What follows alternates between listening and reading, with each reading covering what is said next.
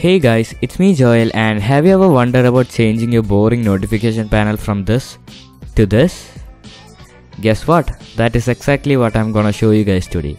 So to do this you would need an app. The app is called Material Notification Shade. You can find it on the Play Store or download it from the link in the description down below.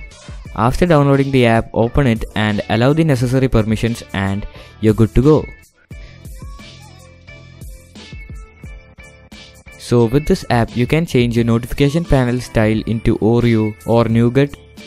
Some features of this app is limited to the pro version but still you get a ton of customization features in the free version too. You can change the color of the notification panel into your liking.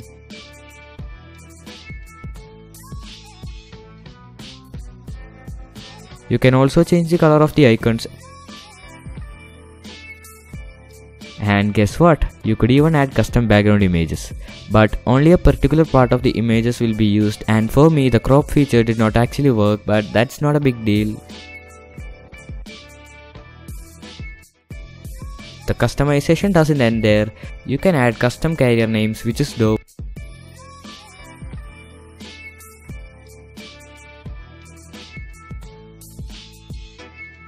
And you could even change the font into Google Sans which looks more minimal in my opinion.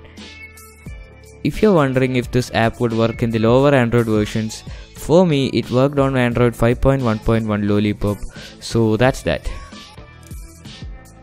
This app has a lot more features which I did not actually cover, but it's pretty self-explanatory, so I would say that for its features the app is worth the download, it's just 1.5 megabytes so that is gonna do it for this video guys.